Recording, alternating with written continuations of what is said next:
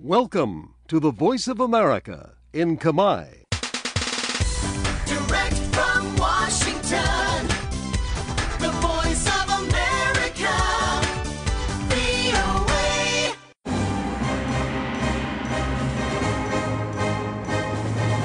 សួស្តីប្រិយមិត្តអ្នកស្ដាប់ជាទីមេត្រី នៅក្នុងកម្មវិធីផ្សាយតាមវិទ្យុរបស់ VOA នៅព្រឹកថ្ងៃច័ន្ទទី15ខែមីនាឆ្នាំ2021នេះ ខ្ញុំលីម៉ូរីវ៉ាន់និងសហការីនៃក្រុមផ្សាយជាខេមរៈភាសាសូមស្វាគមន៍ប្រិយមិត្តពីរដ្ឋធានី Washington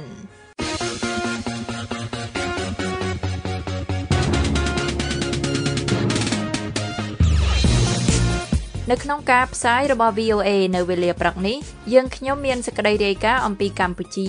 មានអ្នកជាប់ឃុំច្រើនជាងទាន់ដិតនិងខ្ពស់ជាងប្រទេសជិតខាងបើទោះជាពន្ធនាគារខ្វះខាតធនធាន ហើយនឹងសេចក្តីរាយការណ៍អំពីកម្មករប្រតិកម្មផ្សេងផ្សេងៗគ្នាចំពោះការចាក់វ៉ាក់សាំង COVID-19 ខណៈមានករណីឆ្លងក្នុងចំណោមកម្មកររោងចក្រសូមលោកអ្នកនាងស្ដាប់សេចក្តីលម្អិតនៃសេចក្តីរាយការណ៍ទាំងនេះដែលមានជាបន្តបន្ទាប់ដូចតទៅប្រព័ន្ធពន្ធនាគារកម្ពុជានៅតែស្ថិតក្រោមស្តង់ដារដោយខ្វះអនាម័យនិងមានអ្នកជាប់ឃុំកកកុញ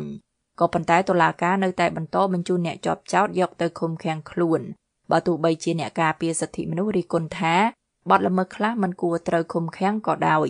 ក្រសួងយុតិធធនៃប្រទេសកម្ពុជាថាខ្លួនកំពុងដោះស្រាយការកកស្ទះក្រុមអ្នកការពារសិទ្ធិមនុស្សថាប្រព័ន្ធពន្ធនាគារកម្ពុជាបានក្លាយជាឧបករណ៍ដែលគណៈបកកាន់អំណាចប្រើប្រាស់យ៉ាងពេញនិយមដើម្បីបំបិតសម្លេងរិះគន់លោកម៉ែនកំសីនៃ VOA រាយការណ៍ជូនពីរដ្ឋធានី Washington ដូចតទៅ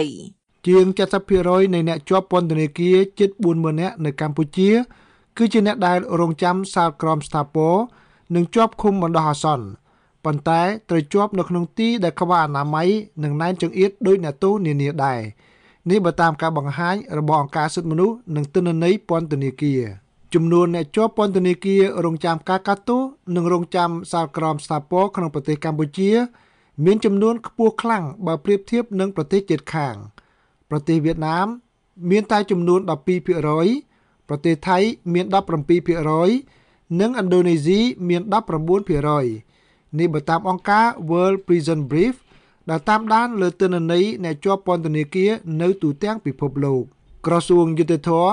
បានដាក់បន្ទុកលើចំនួនអ្នកជាប់ពន្ធនាគារខ្ពស់នេះទៅលើការកកស្ទះសំណុំរឿងនៅតុលាការនិងបានចាប់ផ្ដើមធ្វើយុទ្ធនាការដោះស្រាយចាប់តាំងពីខែឧសភាឆ្នាំ2020មកលោកចិនម៉ាលីន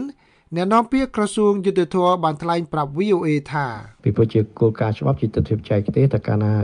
ដោះស្រាយភាពកកស្ទះសំណុំរឿងព្រមទាត់នឹងដំណើរការបានទៅលឿនវា ចូលរួមចំណែកក្នុងការដោះស្រាយភាពចង្អៀតណែននៃចំនួនអ្នកជាប់ឃុំទាំងអ្នកដែលមានសាលក្រមស្ថាពរហើយទាំងអ្នកដែលឃុំខ្លួនប្រសន្នរងចាំដំណើរការនីតិវិធីរបស់តុលាការគឺត្រឹមដំណាច់ឆ្នាំ2020គឺតុលាការដោះស្រាយបានចំនួន 35100នៃសំណុំរឿងព្រំប្រទានចាស់ជិត40000ដែលបានកកស្ទះហើយត្រូវជា89%នេះបើយោងតាមសេចក្តីប្រកាសព័ត៌មានរបស់ក្រសួងយុតិធធអ្នកនាំពាក្យក្រសួងយុតិធធប្រកាសថាយុទ្ធនាការនេះនឹងបិទបញ្ចប់នៅខែឧសភាខាងមុខនេះនេះជាការពន្យាបន្ថែមពីផែនការដើមដែលត្រូវបញ្ចប់នៅដំណាច់ឆ្នាំ2020ក្រមអ្នកការពារសិទ្ធិមនុស្សមើលឃើញថា បើការអនុវត្តមានលក្ខណៈស៊ីសង្វាក់គ្នាដោយនៅក្នុងច្បាប់ក៏អាចជួយសម្រួលបន្ទុកលើពន្ធនាគារផងដែរលោកអំសំអាតនាយករងទទួលបន្ទុកផ្នែកខ្លំមើលនិងការពារសិទ្ធិមនុស្សនៃអង្គការ Liga do បានបញ្ជាក់ប្រាប់ VOA ថាជាគោលការណ៍អន្តរជាតិគឺគឺយកជាគោលការណ៍សេរីភាពនៃជនជាប់ចោតហើយនៅក្រមព្រំតនក៏គេចែងដែរថាត្រូវគិតពីសេរីភាពជាមូលដ្ឋាននៃ ជនជាប់ចោតបានន័យថាការជ្រើសរើសនៅក្រៅឃុំណាបដិអាសន្ននឹងជាជាងការឃុំខ្លួនប៉ុន្តែការអនុវត្តវាហាក់ដូចជាមានអទំនោរខុសគ្នាអានឹងហើយដែលធ្វើឲ្យពន្ធនាគារនៅកម្ពុជាយើងហ្នឹងវាការឃុំខ្លួនមនុស្សហ្នឹងវាហើយជាភាពចង្អៀតណែនលឹះលុបដែលធ្វើឲ្យប៉ះពាល់ទៅដល់ ចំនួននៃអ្នកឃុំខ្លួនដែលធ្វើឲ្យប៉ះពាល់ដល់សុខភាពគាត់ពីព្រោះការចង្អៀតណែនខ្លាំងពេកបើទោះបីជាមានការខិតខំកែប្រែយ៉ាងណាប៉ុន្តែស្ថានភាពពន្ធនាគារកម្ពុជា នៅតែមិនល្អប្រសើរនៅឡើយអង្គការការពារសិទ្ធិមនុស្សលីកាដូបានលើកឡើងថា ក្នុងរយៈពេលប្រមាណឆ្នាំនេះភាពចង្អៀតណែននៅតែដដែលបើទោះបីជាឃើញថាមានការកែលម្អមានសង់អគារបន្ថែមខ្លះក្នុងពន្ធនាគារក៏ដោយលោកអំសំអាត បានថ្លែងបន្ថែមថាក្នុងក្នុងថ្មីថ្មីក៏យើងឃើញមានយុទ្ធនាការពន្លឿនអឺនីតិវិធីរបស់ក្រសួងយុទ្ធភ័ពនៅតាមសាលាដំបងរាជធានីខេត្តក៏ដោយក៏ភាពជំនាញដែរហ្នឹងក៏មិនអាចតែបន្តឲ្យបានដែរនៅដល់ពេលឡើយនេះបាទបើទោះបីជាមានកង្វះខាតកន្លែងដាក់អ្នកទោសនិងកង្វះអនាម័យប៉ុន្តែវានៅតែជាកន្លែងដែលអាជ្ញាធរប្រើប្រាស់ជាឧបករណ៍ដើម្បីបំបត្តិសម្លេងអ្នករិះគន់និងអ្នកដែលមាននិន្នាការប្រឆាំង បើទោះបីជាកំហុសឆ្គងតិចតួចក៏ដោយនេះបើតាមការបញ្ជាក់របស់ក្រុមអ្នកការពារសិទ្ធិមនុស្សអង្គការសិទ្ធិមនុស្ស Human Rights Watch បានកត់ត្រាថា នៅពេលនេះមានអ្នកទោសនយោបាយចំនួន75នាក់ក្នុងនោះជាសកម្មជននយោបាយសកម្មជនបរិស្ថានវ័យក្មេងមេដឹកនាំសហជីពនិងអ្នកសារព័ត៌មានលោកអមសំអាតនៃអង្គការលីកាដូក៏បានបញ្ជាក់បន្ថែមថាដូចខ្ញុំការកត់សម្គាល់របស់ខ្ញុំបើសិនជារឿងដែលការគុំគ្រងដោះអាសន្នហ្នឹងអ្នកដែលត្រូវបានចាប់ខ្លួនហ្នឹងបើគាត់មានទំនោរនយោបាយទៅគណៈបព្វប្រឆាំងឬក៏អ្នកដែលធ្វើការងារសង្គមអ្នកដែលការពារបរិស្ថានអ្នកការពារសិទ្ធិមនុស្សអីជាដើមហ្នឹងយើងឃើញថាការគុំខ្លួនដោះអាសន្នការចាប់កាន់ការគុំខ្លួនហ្នឹងត្រូវធ្វើទៅដោយគ្លៀនគ្លៀនទោះបីជាមានការអឺ ស្នើសុំនៅក្រៅឃុំយ៉ាងណាក៏ដោយក៏យើងកម្រឃើញមានការអនុញ្ញាតឲ្យនៅក្រៅឃុំណាស់លោកខឹមភាណាអតីតចៅសង្កាត់ផ្សារដេប៉ូទី3ក្នុងរាជធានីភ្នំពេញស្ថិតក្នុងចំណោមអ្នកទោសនយោបាយដែលកំពុងជាប់ពន្ធនាគារលោកខឹមភាណាអាយុ54ឆ្នាំមកពីគណៈបកសង្គ្រោះជាតិលោកត្រូវបានអាជ្ញាធរចាប់ខ្លួនកាលពីថ្ងៃទី2ខែមេសាដោយចោទប្រកាន់ពីបទរួមគំនិតក្បត់ញុះញង់កុំឲ្យយោធិនស្ដាប់បង្គាប់ និងញុះញង់ឲ្យប្រព្រឹត្តបទអក្រិតជាអាតពាក់ព័ន្ធនឹងគម្រោងមាតុភូមិនិវត្តន៍របស់លោកសំរងស៊ីនិងថ្នាក់ដឹកនាំកាលពីចុងឆ្នាំ2019ចាប់តាំងពីត្រីចាប់ខ្លួនមក សំណុំរឿងរបស់លោកនៅមិនទាន់ត្រូវតុលាការយកមកកាត់ទោសនៅឡើយទេ ហើយតុលាការក៏បានបដិសេធការសុំនៅក្រៅឃុំជាបន្តបន្ទាប់លោកស្រីសុកបូលីម៉ាភរិយារបស់លោកខឹមភាណា បារម្ភពីសុខភាពរបស់លោកដោយសារតែលោកមានជំងឺផ្ទាល់ខ្លួន និង កង្វះអនាម័យក្នុងមន្ទីរឃុំឃាំងប៉ះពាល់ហើយផ្លូវចិត្តផ្លូវកាយហ្នឹងហើយណាមួយគាត់លើសឈាមខ្ញុំបារម្ភពីសុខភាពគាត់ណាលោកគ្រូលោកស្រីសុកបូលីម៉ាក៏បានត្អូញត្អែពីការលំបាកជីវភាព ចាប់តាំងពីស្វាមីត្រូវបានចាប់ខ្លួននិងឃុំឃាំងលោកស្រីត្រូវបានគេបញ្ឈប់ការងារជាអ្នកបម្រើភេសជ្ជៈនៅក្នុងក្រុមហ៊ុនឯកជនមួយដោយសារតែការចេញមកតវ៉ាទាមទារឲ្យដោះលែងស្វាមី លោកស្រីបានបញ្ជាក់បន្ថែមប្រាប់ VOA ថាបាក់មែនតើហ្មងបាក់ដល់ថ្នាក់ដើរសុំបងប្អូន ខាងគាត់ខាងខ្ញុំអីចឹងដែរបាក់ណាមួយកូនជាពាក់ធនាគារជាពាក់អីទៀតគ្រូឲ្យរត់បានទៀតបាក់មែនតើសំបីរកការងារធ្វើគេបាត់ដែររកការងារធ្វើក៏លំបាកដែរយើងអ្នកខាងហ្នឹងគេមិនទទួលយើងហ៎គ្រូ អតីតមេដឹកនាំសកម្មជននិស្សិតមួយរូបគឺលោកសួងនៀពន់ត្រូវតុលាការឃុំខ្លួនមុនការកាត់ទោសអស់រយៈពេលជាង4ខែមុនពេលដល់លែងវិញនៅពាក់កណ្ដាលខែវិច្ឆិកាឆ្នាំ2019ដោយសារតែលោកបានចូលរួមសកម្មភាព រំលឹកខួបលើកទី3នៃការធ្វើឃាតលោកបណ្ឌិតកែមលីនិងទាមទារឲ្យបញ្ចប់ការសម្លាប់មនុស្សក្រៅប្រព័ន្ធតុលាការលោកសួងនៀពន់បានរៀបរាប់ពីស្ថានភាពពន្ធនាគារថា បើនិយាយអំពីបញ្ហារស់នៅក្នុងគុកគឺវាមិនស្រួលទេវាវេទនាណាស់ព្រោះគេបើកឲ្យយើងតែ3ទឹកគេបើកទំហំឲ្យតែ3ទឹកណា3ទឹកបដោយ2ម៉ែត្រដើម្បីឲ្យយើងគេងហ្នឹងណាបាទទី1ហើយទី2អឺការរស់នៅណែនតាន់តាប់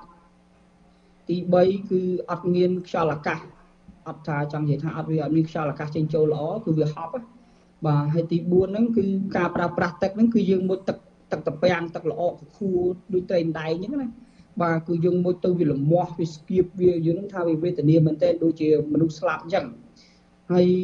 ទី5ហ្នឹងគឺវិសុសកម្មវិសុសកម្មហ្នឹងវាធ្វើឲ្យយើងនឹងអឺក្អកវាធ្វើឲ្យយើងនឹងកើតលមាស់វាធ្វើឲ្យយើងនឹងហឹងលកជាវាធ្វើឲ្យយើងនឹងឈឺក្បាលរ៉ាំរ៉ៃជារៀងរាល់ថ្ងៃអីជាដើមទៅលោកសួងនៀពន់បានបន្ថែមថា ក្នុងបន្ទប់ដែលមានទំហំ4ម៉ែត្រគុណនឹង5ម៉ែត្រគឺមានដាក់មនុស្សពីជាង20នាក់ដល់ជាង30នាក់ហើយពួកគេត្រូវដេកផ្អៀងនៅពេលយប់តុលាការបានកាត់ទោសលោកឲ្យជាប់ពន្ធនាគាររយៈពេល2ឆ្នាំប៉ុន្តែលោកបានភៀសខ្លួនចាកចេញទៅក្រៅប្រទេស បន្ទាប់ពីរងការគំរាមកំហែងសម្លាប់ជាបន្តបន្ទាប់នៅពេលនេះលោកស៊ូងនាពាន់កំពុងរស់នៅជាជនភៀសខ្លួននៅប្រទេសស្វីសប៉ុន្តែ នៅតែមានសុបិនអាក្រក់ម្ដងម្កាលពីការជាប់ពន្ធនាគារនោះអឺយើងបើពេលខ្លះសម័យបាទយល់សពអីចឹងទៅឃើញថាខ្លួនឯងរត់ពេញគុកគេទិញចាប់គេទិញអីគេទាត់គេធាក់គេជន់កកប់ផុកកប់អីចឹងអាហ្នឹងក៏ខ្ញុំយល់សពទេក៏ប៉ុន្តែនៅភ្ញាក់ពីការយល់សពមកវិញគឺយើងបានធូរទ្រូងទៅក៏យើងគិតថាយើងលែងគិតបដោតសំខាន់ទៅលើភាពសៅមងហ្នឹងយើងបដោតសំខាន់ទៅលើ ការសិក្សាស្រាវជ្រាវការរឿងឃាតកម្មលោកកែមលីបន្តទៀតក្នុងការតវ៉ាពីពន្ធនាគារដែលមិនធ្លាប់មានមួយ គឺសកម្មជនបរិស្ថានវ័យក្មេងមួយរូបគឺកញ្ញាឈឿនដារាវី បានធ្វើឲ្យភ្ញាក់ផ្អើលដល់មហាជនដោយសារតែបានកោសក់ចោលក្នុងពេលដែលការសំនៅក្រៅឃុំជាបន្តបន្ទាប់ត្រូវបានបដិសេធរូបភាពរបស់នាងដោយមានភ្ជាប់សារទូទួយពលរដ្ឋឲ្យក្រោកឡើងស្រុះគ្នាដើម្បីសង្គ្រោះប្រជាធិបតេយ្យនៅកម្ពុជាឡើងវិញ ត្រូវបានចែកចាយជាច្រើនតាមបណ្ដាញសង្គមកញ្ញាឈឿនដារាវីត្រូវបានចោទពីបទញុះញង់ឲ្យមានភាពវឹកវរដល់សន្តិសុខសង្គមដោយប្រព្រឹត្តនៅក្នុងប្រទេសកម្ពុជា កាលពីខែសីហាឆ្នាំ2020ដោយសារតែការចូលរួមតវ៉ាឲ្យដោះលែងលោករងឈុនប្រធានសហភាពសហជីពកម្ពុជា នៅពេលដែលអ្នករិះគន់រដ្ឋាភិបាលត្រូវតុលាការបដិសេធជាបន្តបន្ទាប់មិនឲ្យនៅក្រៅឃុំប៉ុន្តែអ្នកខ្លះទៀតត្រូវបានដោះលែង ដោយសារតែមានទ្រព្យធនឲ្យមកសម្រាប់ព្យាបាលនៅក្រៅឃុំបាន លោកចិនម៉ាលីនអ្នកនាំពាក្យក្រសួងយុទ្ធភ័ពបានថ្លែងការពីចំណាត់ការរបស់តុលាការថាការឃុំខ្លួនបដិសននឹងគឺជាអំណាចឆន្ទានុសិទ្ធិរបស់ចៅក្រមដែលគាត់ពិចារណាទៅលើលក្ខខណ្ឌគ្រប់យ៉ាងទាំងអស់ដែលមានបញ្ញត្តិនៅក្នុងក្រមនីតិវិធីព្រមទាន់ណាអញ្ចឹងបានសំណុំរឿងខ្លះហេតុអីក៏ឃុំខ្លួន បដិសនសំណុំរឿងខ្លះហេតុអីក៏មិនឃុំខ្លួនអានឹងគឺចៅក្រមគេវិតម្លៃទៅលើលក្ខខណ្ឌទស្សនវិជ្ជាស្ដែងនៃសំណុំរឿងនីមួយៗវាមិនអាចដូចគ្នាអឺពីសំណុំរឿងមួយទៅសំណុំរឿងមួយគឺថាប្រៀបធៀបឲ្យអនុវត្តដូចគ្នាបានទេមន្ត្រីពន្ធនាគារបានទទួលស្គាល់ថាស្ថានភាពពន្ធនាគារនៅតែមិនទាន់ដល់កម្រិតបច្ចេកទេសត្រឹមត្រូវនៅឡើយទេលោកនុតសាវណ្ណាអ្នកនាំពាក្យអគ្គនាយកដ្ឋានពន្ធនាគារនៃក្រសួងមហាផ្ទៃ បានបញ្ជាក់ប្រាប់ VOA ថាតាមពិតទៅដើម្បីប្រសិទ្ធភាពក្នុងការគ្រប់គ្រងជួបជាប់ឃុំក៏ដូចជាការធ្វើកម្មវិធីអប់រំកែប្រែសន្តិសម្បទាចំនួនដែលយើងអាចធ្វើដោយថាមានប្រសិទ្ធភាពណាការងារយើងមានប្រសិទ្ធភាពតើតែសមមាត្រទៅនឹងចំនួនត្រីយើងសមរម្យហើយនឹងហេដ្ឋារចនាសម្ព័ន្ធរបស់យើងដែលទុកបានបណ្ណាអញ្ចឹង តាមការអនុវត្តជាក់ស្ដែងចំនួនដែលសមរម្យបំផុតនៅពេលនេះគឺបើបានក្រោម20000មកហ្នឹងល្អបានក្រោម20000នឹងត្រីខ្ញុំក៏ត្រួតធ្វើការទាំងការងារសន្តិសុខទាំងការងារអប់រំកែប្រែតាមតែសម្ភារទាំងការងារគ្រប់គ្រងសេវាសុខភាពជូនជនជាប់គុំលោកសាវណ្ណាបានបន្ថែមថា ក្នុងពេលបច្ចុប្បន្នអ្នកដែលមានសារក្រមស្ថាពរតែ27% នៃអ្នកជាប់នៅក្នុងពន្ធនាគារចំនួន39200នាក់ហើយគ្រាន់តែអ្នកត្រូវឃុំខ្លួនរងចាំសវនាការមានជាង17200នាក់ដែលត្រូវជា43%ក្រៅពីនោះជាអ្នករងចាំសារក្រមស្ថាពរដោយសំណុំរឿងនៅកក់ជាប់ក្នុងនីតិវិធីប្រកបដោយការិយាធិបតេយ្យនៃប្រព័ន្ធតុលាការកម្ពុជាយ៉ាងណាក៏ដោយលោកនុតសាវណ្ណាយល់ថា យុទ្ធនាការរបស់ក្រសួងយុទ្ធភ័ពបានជួយដោះស្រាយភាពកកកុញនៅក្នុងពន្ធនាគារបានខ្លះដែរដោយសារលទ្ធផលនៃការខិតខំរបស់ក្រសួងយុទ្ធភ័ពក៏ដូចជាស្ថាប័នតុលាការដែលគាត់ប្រកាន់គោលការណ៍ថ្មីហ្នឹងគឺកិច្ចការបញ្ជូនមនុស្សឃុំនៅពន្ធនាគារហ្នឹងវាចំនួនហ្នឹងវាអត់កើនទេតែប៉ុន្តែបើអត់ធ្វើអញ្ចឹងទេវាអាចជាជិត50000នាក់ហើយមកដល់ពេលនេះណាអតីតគណៈបកប្រឆាំង គឺគណៈបកសង្គ្រោះជាតិកំពុងធ្វើយុទ្ធនាការបញ្ចប់នីតិរដ្ឋភាពដើម្បីយុទ្ធធរនៅកម្ពុជា ដើម្បីជំរុញឲ្យមានការដោះស្រាយបញ្ហាឃុំខ្លួនមុនការកាត់ទោសនេះនិងការសម្លាប់សកម្មជន និងអ្នកនយោបាយក្នុងពេលកន្លងមកគណៈបកសង្គ្រោះជាតិបានថ្លែងថាចំណាត់ការរបស់តុលាការកម្ពុជា បានធ្វើឲ្យពលរដ្ឋបាក់ស្បាតមិនហ៊ានបញ្ចេញមតិរិះគន់ទេដោយសារតែការចាប់ឃុំឃាំងក្នុងពន្ធនាគារភ្លាមៗ ដោយមិនអនុញ្ញាតឲ្យពួកគេបាននៅក្រៅឃុំទេលោកអេងឆៃអៀងអនុប្រធានគណៈបកសង្គ្រោះជាតិបានបន្ថែមថាចឹងអាទង្វើនេះបើយើងទាំងអស់គ្នា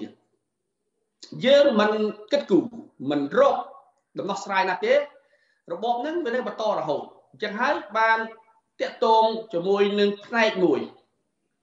ចលនាមួយនេះគឺចលនាបញ្ចប់ទនភាពហ្នឹងក៏វាចូលរួមចំណែកដើម្បីដើម្បីឲ្យឈានទៅបញ្ចប់រឿងនេះដែរ បាទព្រោះយើងបើកាលណាយើងឥឡូវនេះបងប្អូនទាំងអស់ភាគច្រើនគាត់មានការភ័យខ្លាចគាត់មិនហ៊ានចេញដើរទៀមទាជាចំហទេប៉ុន្តែគាត់ឈឺចាប់យុទ្ធនាការបញ្ចប់នីតិរដ្ឋភាពដើម្បីយុទ្ធធរនៅកម្ពុជានេះបានចាប់ផ្ដើមតាំងពីខែកក្កដាមកដោយគណៈកម្មការបញ្ចប់នីតិរដ្ឋភាពនៅកម្ពុជាដែលបានបង្ហាញសកម្មជន សង្គមនិងបរិស្ថានដែលបានស្រាប់ទៅហើយដែលមានដូចជាលោកបណ្ឌិតកែមលី លោកឈុតវុធីលោកជាវិជា និងតារាភាពយន្តគឺអ្នកស្រីពិសិដ្ឋពីលីកាជាដើមយុទ្ធនាការនេះមានអ្នកចូលរួមចុះហត្ថលេខាចំនួន760,000នាក់ត្រឹមខែមីនានេះសម្រាប់ការស្នើឲ្យចុះហត្ថលេខាលើញត្តិតាមអនឡាញទន្ទឹមនឹងនោះក៏មានការចងក្រងឯកសារពីជនរងគ្រោះទាំងនោះនិងការសិក្សាពីលទ្ធភាពឲ្យក្រុមគ្រួសារជនរងគ្រោះដែលនៅក្រៅប្រទេស អាចប្តឹងផ្តល់ទៅតុលាការក្នុងប្រទេសដែលពួកគេស្នាក់នៅផងដែរគណៈបកសង្គ្រោះជាតិរំពឹងថាវានឹងនាំឲ្យមានការកែប្រែប្រព័ន្ធយុត្តិធម៌នៅកម្ពុជារាយការណ៍ពីរដ្ឋធានី Washington ខ្ញុំម៉ែនកឹមសេង VOA សួស្តីអស់លោកអ្នកស្ដាប់ជាទីមេត្រី VOA យើងខ្ញុំ មានកម្មវិធី Hello VOA ពីរលើកក្នុងមួយសប្តាហ៍ គឺនៅថ្ងៃច័ន្ទនិងថ្ងៃប្រហ័សយើងខ្ញុំមានភ្ញៀវពិសេសពិសេសនិងអ្នកជំនាញការនានាពីបញ្ហាផ្សេងផ្សេងរួមមាននយោបាយសិទ្ធិមនុស្សការរំលោភដីធ្លី និងបញ្ហាសុខភាពបើសិនជាលោកអ្នកចង់ចូលរួមសូមអញ្ជើញទូរស័ព្ទមកលេខ012 51 51 94ឬផ្ញើអ៊ីមែលមកកាន់ hellovoa@voanews.com លោកអ្នកថែមទាំងអាចផ្ញើសំណួរតាមទំព័រ Facebook គឺ facebook.com/voa ខ្មែរហើយបើលោកអ្នកខកខានមិនបានស្ដាប់កម្មវិធី Hello VOA តាមការផ្សាយបន្តផ្ទាល់របស់យើង សូមអញ្ជើញចូលទៅកាន់គេហទំព័រយើង khmer.voanews.com ហើយចុចលើពាក្យ Hello VOA ដែលស្ថិតនៅផ្នែកខាងក្រោមបំផុត ដើម្បីស្ដាប់កម្មវិធីនេះឡើងវិញ សូមអរគុណ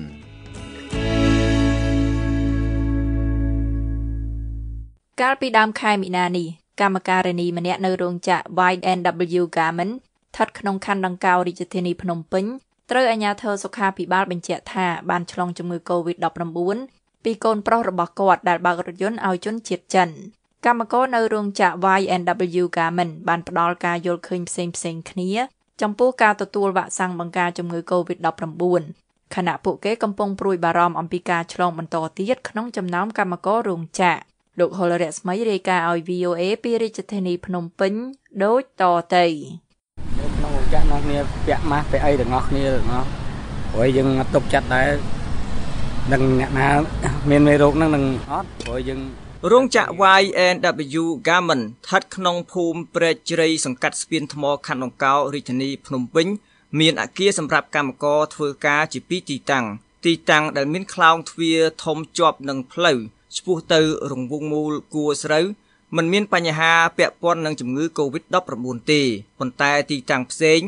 ដែលកម្មករត្រូវឆ្លងថ្នល់ពីទីតាំងដែលមានខ្លោងទ្វារធំនោះ មានអគារមួយត្រូវបានផ្អាកមិនអោយកម្មករប្រមាណ700នាក់ធ្វើការព្រោះមានកម្មករជាស្ត្រីវ័យ48ឆ្នាំម្នាក់ត្រូវបានរកឃើញថាមានផ្ទុកវីរុសដែលបង្កជំងឺ Covid-19 ក្តីបារម្ភពាក់ព័ន្ធការឆ្លងជំងឺ Covid-19 បានកើតឡើងក្នុងចំណោមកម្មកររបស់រោងចក្រដែលបានដំណើរការជាយូរឆ្នាំមកហើយនៅក្នុងប្រទេសកម្ពុជាក្រុមកម្មករក៏បង្ហាញអារម្មណ៍ច្របូកច្របល់ជាមួយនឹងការចាក់វ៉ាក់សាំងបង្ការជំងឺនេះ។លោកសេកណាតអាយុ39ឆ្នាំជាកម្មករដែលស្ថិតនៅទីតាំងដែលមានអគារដែលស្ត្រីម្នាក់ត្រូវរកឃើញថាមានជំងឺ Covid-19 នោះបាននិយាយថាកម្មករបង្កើនការប្រុងប្រយ័ត្នជាងពេលមុន តាក់ទិនការពាក់ម៉ាស់និងលាងសម្អាតដោយទឹកអាល់កុលដើម្បីការពារខ្លួនមិនឲ្យឆ្លងជំងឺ Covid-19 និងការរក្សាកម្រិតពីគ្នានៅពេលដើរចូលកន្លែងធ្វើការយ៉ាងណាក៏ដោយកម្មករដែលមានកូន2នាក់ក្នុងបន្ទុករូបនេះថាបើបានវ៉ាក់សាំងមកចាក់ឲ្យកម្មករនោះស្ថានភាពឆ្លងនៃជំងឺ Covid-19 របស់កម្មករនឹងមិនផុយស្រួយខ្លាំងទេបាទខ្ញុំគួរឲ្យគិតដែរបងព្រោះយើងឥឡូវវាថា មានអ្នកទប់មេរោគនឹងច្រើនអញ្ចឹងយើងគួរឲ្យគាត់រត់គាត់ចាក់វ៉ាក់សាំងឲ្យយើងឆាប់ឆាប់ហ្នឹងល្អជាងព្រោះកម្មករយើងមិនមែននៅក្នុងរោងចក្រហ្នឹង24ម៉ោងយើងទៅផ្ទះរៀងខ្លួនងាយឡើងទៅផ្ទះដឹងណាដើរលេងដឹងណាអត់កម្មករម្នាក់ទៀតដែលឲ្យឈ្មោះត្រឹមថា D ព្រោះខ្លាចគេស្គាល់អត្តសញ្ញាណនិយាយថាការចាក់វ៉ាក់សាំងឲ្យកម្មករជាការត្រឹមត្រូវនៅក្នុងការបង្ការការចម្លងជំងឺ Covid-19 ក៏ប៉ុន្តែមានតែរដ្ឋាភិបាលទេដែលអាចសម្រេចថានឹងធ្វើកិច្ចការនេះជាបន្ទាន់ឬយ៉ាងណានោះដោយមានពាក់ម៉ាស់ជាប់នឹងមុខកម្មកររូបនោះនិយាយថាខ្ញុំអត់ដឹងដែរហ្នឹងសម្រាប់លើរីរដ្ឋាភិបាលយើងហ៎បងបើរីរដ្ឋាភិបាលយើងគេគិតគូរឲ្យបានឆាប់ឆាប់គាត់ល្អសម្រាប់កម្មករហ្នឹងសម្រាប់លោកផិនសុផាអាយុ20ឆ្នាំដែលជាកម្មករម្នាក់ទៀតមិនចង់ចាក់វ៉ាក់សាំងទេក្រោមហេតុផលថាវាអាចបង្កគ្រោះថ្នាក់ដល់អាយុជីវិត ប្រសិនបើអ្នកចាក់វ៉ាក់សាំងមានសុខភាពមិនរឹងមាំប្រហែលអត់ចាក់ដែរបើលឺគេថាវាចាក់ទៅក្តៅខ្លួនហើយបើយើងនៅកម្លាំងខ្សោយអាចអាចស្លាប់បានទៀតណាចាក់នៅខាងនោះកម្មករវ័យក្មេងរូបនេះនិយាយថាកម្មករផ្សេងទៀតក៏មិនចង់ទទួលវ៉ាក់សាំងដែរព្រោះពួកគេត្រូវបានប្រាប់ថាអ្នកដែលមានសុខភាពមាំទាំទើបអាចចាក់វ៉ាក់សាំងបានខាងគាត់ដូចអត់មានចិត្តណាគេចង់បានផងព្រោះបើព្រោះតែថាលឺគេថាចាក់ទៅវាក្តៅខ្លួន30ម៉ោងអីចឹងណាដល់ពេលអញ្ចឹង ហើយណាមួយពួកគាត់ធ្វើការនៅហ្នឹងវាអត់សូវមានកម្លាំងពេញគេថាតកម្លាំងពេញ100%បានគេឲ្យចាក់បើតាមការសម្ភាសកម្មករមួយចំនួននៅរោងចក្រ Y&W Garment ស្ត្រីវ័យ48ឆ្នាំដែលធ្វើការនៅផ្នែកបោកគក់ត្រូវបានគេរកឃើញថាមានផ្ទុកជំងឺ Covid-19 កាលពីថ្ងៃច័ន្ទសប្តាហ៍មុនមេប៉ុស្តិ៍នគរបាលសង្កាត់ស្ពានថ្មលោកឈឹមរាប្រាប់ VOA កាលពីថ្ងៃពុធសប្តាហ៍មុនថាស្ត្រីរូបនោះត្រូវបានយកទៅព្យាបាល ហើយស្វាមីរបស់គាត់ក៏ត្រូវគេយកទៅធ្វើចតាឡេសាកម្មករនិយាយថាទៅកែរោងចក្របានសម្រេចបិទអគារដែលស្ត្រីមានផ្ទុកជំងឺ Covid-19 ធ្វើការជាមួយកម្មករប្រមាណ700នាក់ផ្សេងទៀតពួកគេថាអគារដែលបិទចោលមួយរយៈដើម្បីទទួលការសម្អាតមេរោគពីបុគ្គលិកសុខាភិបាលនោះនឹងត្រូវដាក់ឲ្យដំណើរការឡើងវិញនៅថ្ងៃអង្គារទី9ខែមិនិនាលោកសេកណាតបង្ហាញពីបំណងចង់សម្រាកពីរោងចក្រដែរនៅពេលទីតាំងដែលលោកធ្វើការនោះ មានអគារដែលត្រូវគេរកឃើញថាមានបញ្ហាជាមួយនឹងជំងឺ Covid-19 កាលពីពេលថ្មីៗនេះលោកបន្ថែមថាការផ្អាកដំណើរការរោងចក្រទាំងស្រុងច្រើនជាងមួយសប្តាហ៍បន្ថែមទៀតក៏ជាការប្រសើរដើម្បីឲ្យប្រកាសថាมันមានមេរោគបង្កជំងឺ Covid-19 នៅក្នុងរោងចក្រខាងក្រុមហ៊ុនឲ្យកម្មករផ្អាកទៅយើងព្រោះយើងនៅផ្ទះរៀងខ្លួនមិនអីទេតែនេះបើយើងគាត់អត់ឲ្យផ្អាកអញ្ចឹងយើងហ៊ានផ្អាកខ្លួនយើងយើងដាច់លុយហើយ រោងចក្រ Y&W Garment មានកម្មករសរុបទាំងអស់ជាង5000នាក់កំពុងធ្វើការក្នុងសង្វាក់ផលិតកម្មសម្លៀកបំពាក់ក្មេងៗនៅពេលអ្នកយកព័ត៌មានរបស់សម្លេងសហរដ្ឋអាមេរិកទៅជួបសម្ភាសកម្មករនៅក្រៅរោងចក្រនោះកម្មករភ ieck ច្រើននៅត្រូវបានគេមើលឃើញថាហូបអាហារជុំជុំគ្នានិងដើរគៀកគៀកគ្នានៅឡើយនៅមុខច្រកចូលទីតាំងដែលមានអគារមួយត្រូវបានបិទនោះកម្មករត្រូវក្រុមសន្តិសុខតម្រូវឲ្យពាក់ម៉ាស់មុនពេលដើរចូលទៅក្នុងកន្លែងធ្វើការ លោកផិនសុផាកំពុងជក់បារី នៅមុនពេលលោកចូលធ្វើការនៅទីតាំងដែលមានអគារត្រូវបានបិទដោយសារជំងឺ Covid-19 នោះលោកប្រាប់ VOA ថាលោកនឹងមកធ្វើការជាធម្មតានៅថ្ងៃអង្គារស្អែកនេះទោះបីអគារដែលត្រូវបានបិទនោះត្រូវបើកឲ្យដំណើរការឡើងវិញក៏ដោយព្រោះលោកជឿថាកម្មករដែលធ្វើការក្នុងអគារនោះត្រូវបានគេពិនិត្យសុខភាពរួចរាល់ហើយនិយាយរួមទៅបើគេឲ្យចូលវិញព្រោះគេចាប់គាត់ហ្នឹងទៅឃុំគេយកខាងក្រសួងគេហ្នឹងគេ ពិនិត្យអស់ហើយបានគេឲ្យចូលវិញបង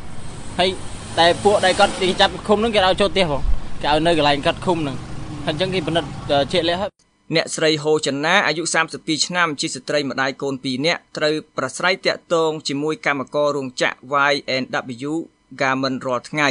ខណៈគាត់ជាអ្នកលក់ដូរគ្រឿងភេសជ្ជៈនៅក្បែររោងចក្រនោះអ្នកស្រីនិយាយថាអ្នកស្រីមិនអាចផ្អាករបរលក់ដូរនេះបានទេគ្រាដែលតំបន់អ្នកស្រីរស់នៅនេះ មានការឆ្លងជំងឺ Covid-19 លើកម្មករម្នាក់ដៃកំពុងដំតកកអាជីវកររូបនោះនិយាយថាយើងអ្នកលក់វាប្រឈមមុខច្រើនតែគាត់ថាបើយើងមិនលក់វាមិនដឹងធ្វើម៉េច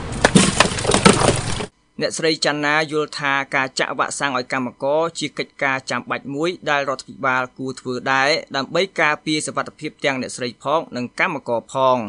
ចំណែកកញ្ញាសៅចន្ទរាដែលមានតូបលក់ដូរអាហារតាមចិញ្ចើមថ្នល់ស្ថិតនៅចម្ងាយប្រមាណកន្លះគីឡូម៉ែត្រពីរោងចក្រ Y&W Garment និយាយថាករណីឆ្លងលើកម្មករមួយករណីនោះមិនទាន់ជារឿងធំដុំដែលត្រូវបង្ខំឲ្យកញ្ញាផ្អាកការរកស៊ីទេទី1ការរកស៊ីវាពិបាកខ្លាចពេលយើងឈប់ទៅវាដាច់ម៉ួយទី1ទី2វាខាត់ផលប្រយោជន៍ផ្ទាល់ខ្លួនរបស់យើងហើយណាមួយអត់ទេបើសិនជាវារីករាលដាលធំក៏យើងអាចនឹងគិតថាឈប់ដែរអញ្ចឹងតែនេះដោយសារតែវា ស្ងោតស្ងាត់ទៅវិញអញ្ចឹងទៅអានឹងអត់អីទេដោយសារតែការផ្អើលឈូឆរហ្នឹងតើវាតែមួយថ្ងៃទេកញ្ញាចន្ទរាអាយុ21ឆ្នាំបន្ថែមថារដ្ឋាភិបាលក៏គួរបង្កើនការចាក់វ៉ាក់សាំងក្នុងចំណោមកម្មករផងដែរដើម្បីកាត់បន្ថយហានិភ័យខ្ពស់នៃការរីកសាយភាយការឆ្លងជំងឺ Covid-19 នៅតាមរោងចក្រការចាក់វ៉ាក់សាំងសម្រាប់កម្មករហើយនិងប្រជាជនទូទៅអីអញ្ចឹងណាយើងចង់បានអញ្ចឹងព្រោះដោយសារតែអឺប្រជាជនភាគច្រើនគាត់អឺ បើនៅខាងក្រៅវិញគឺច្រើនជាងនៅក្នុងផ្ទះដោយសារតែជីវភាពម្នាក់ម្នាក់គឺចេញមកដើម្បីជីវភាពដូចដូចគ្នាអញ្ចឹងហើយអញ្ចឹងចង់ឲ្យគាត់ពលឿននៃការចាក់វ៉ាក់សាំងចែកជូនប្រជាជនឲ្យលឿននៅក្រៅពេលរកឃើញករណីឆ្លងជំងឺ Covid ក្រុមសហជីពបានអំពាវនាវឲ្យម្ចាស់រោងចក្រ Y&W Garment អប្រតិបត្តិការរបស់ខ្លួនទាំងស្រុងដើម្បីធ្វើការពិនិត្យកម្មករទាំងអស់ដែលបម្រើការនៅទីនោះ ក៏ប៉ុន្តែរោងចក្របានសម្រេចផ្អាកតែអគារមានការឆ្លងហើយអគារជាច្រើនទៀតនៅដំណើរការដោយធម្មតាលោកហេងសួរអ្នកនាំពាក្យក្រសួងការងារបញ្ជាក់ VOA កាលពីសប្តាហ៍មុនថាក្រសួងសុខាភិបាលជាស្ថាប័នជំនាញនៅក្នុងការគ្រប់គ្រងទប់ស្កាត់មិនឲ្យមានការឆ្លងបន្ថែមនៃជំងឺ Covid-19 នៅក្នុងរោងចក្រ Y&W Garment លោកសរសេរតាមប្រព័ន្ធ WhatsApp ថាដោយសារជាករណីជំងឺ Covid-19 ស្ថាប័នបច្ចេកទេសនិងជំនាញគឺក្រសួងសុខាភិបាល ក្រសួងក៏ដូចជារោងចក្រនិងបុគ្គលពាក់ព័ន្ធមានកាតព្វកិច្ចមួយគឺសហការឲ្យបានពេញលេញជាមួយមន្ត្រីសុខាភិបាលកម្មករប្រមាណ700នាក់នៅក្នុងអគារដែលមានស្ត្រីម្នាក់ត្រូវបានរកឃើញថាមានជំងឺ Covid-19 នោះនឹងត្រូវចូលធ្វើការតាមធម្មតាវិញនៅថ្ងៃអង្គារទី9ខែមិនិនានេះបើតាមការបញ្ជាក់ពីសន្តិសុខមួយរូបដែលឈរយាមនៅមុខច្រកចូលអគារដែលមានជាប់ពាក់ព័ន្ធនឹងជំងឺ Covid-19 នោះកម្មករលោកសេកណាតមានប្រសាសន៍ថាលោកនឹងចូលធ្វើការវិញ លោកនិយាយថាបើទោះបីមានការសម្អាតអគារដែលពាក់ព័ន្ធនឹងជំងឺ Covid-19 នោះរួចហើយក៏ដោយក៏កម្មករមិនត្រូវធ្វេសប្រហែសពលគឺត្រូវបង្កើនការប្រុងប្រយ័ត្នជានិច្ចនៅពេលមិនទាន់បានទទួលវ៉ាក់សាំងនោះគឺថាមានវ៉ាក់សាំងចាក់ការពារខ្លួនយើងហើយចាំយើងធ្វើម៉េចធ្វើទៅតែនេះយើងអត់ទាន់មានគួរតែយើងប្រុងប្រយ័ត្នរហូតទៅវាល្អជាងរាយការណ៍ពីរាជធានីភ្នំពេញខ្ញុំហុលរស្មី VOA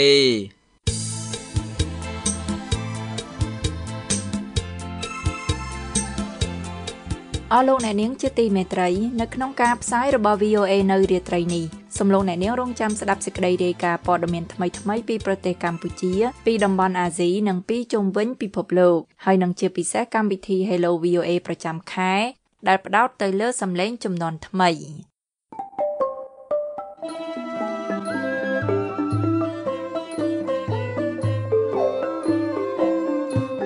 កម្មវិធីផ្សាយរបស់ VOA នៅវេលាព្រឹកនេះចប់តែត្រឹមណេះក៏ប៉ុន្តែលោកអ្នកនាងនៅអាចស្ដាប់ឬអានព័ត៌មានរបស់ VOA ឡើងវិញបានតាមរយៈគេហទំព័ររបស់យើងដែលមានអាសយដ្ឋានខ្មែរ .voanews.com ហើយនៅវេលាយប់នេះសូមលោកអ្នកនាងរងចាំស្ដាប់ការផ្សាយបន្តផ្ទាល់របស់ VOA ពីម៉ោង8:30នាទីដល់ម៉ោង9:30នាទីតាមរលកវិទ្យុ 25m ត្រូវនឹងកម្រិត11695 និង1575 kHz សំឡូងអ្នកនាងប្រកបដោយសុភមង្គលគ្រប់ប្រការអរុនសួស្តី